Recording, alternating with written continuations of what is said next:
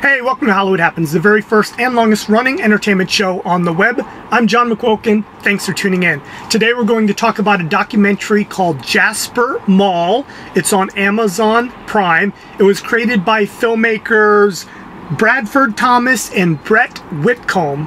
Now, to give you a little backstory, Jasper Mall is located in Jasper, Alabama, and Jasper is a small town. And it is a struggling mall. Some people like to call these dying malls. I do not. I think there's always a hope and a chance that these malls can recover, and Jasper Mall just may. So, Jasper Mall had two, it, it, it currently, it has three anchor stores but it's lost two of the anchor stores. It lost Kmart and J.C. Penney back in 2016 and 2017. And since then, many of the other retailers have followed suit and left the mall also. So, in this documentary, which takes place during the course of a year of 2018, the filmmakers cover the different retailers that are struggling to survive and the ones that are actually packing up and leaving.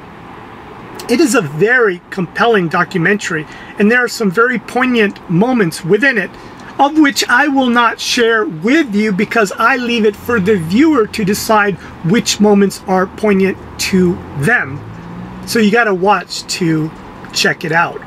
Now, what makes this documentary worth watching is the star of the documentary and he is a security guard, but he's much more than a security guard. He does everything at the mall, and his name is Mike McClelland.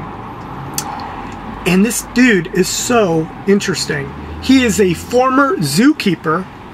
He had a 70 acre zoo in Banks, Alabama, with over 200 animals and over 26 big cats. And that was the love of his life.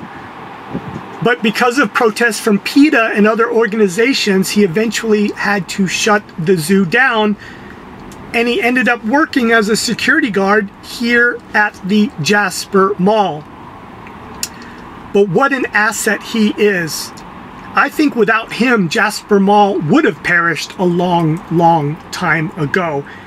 And certainly the documentary Jasper Mall would not be what it is without this incredible man named Mike McClelland. So check it out. Well, that's it for today's show. I hope you enjoyed this review of Jasper Mall. If you have a documentary that you would like me to review, leave it in the comment section of this video and it just may appear in a future episode of Hollywood Happens. Well, thanks for watching everybody. I'm going to have another show for you real soon. I promise you that. So until then, take care. I'm John McQuilkin, and I'll see you in Hollywood.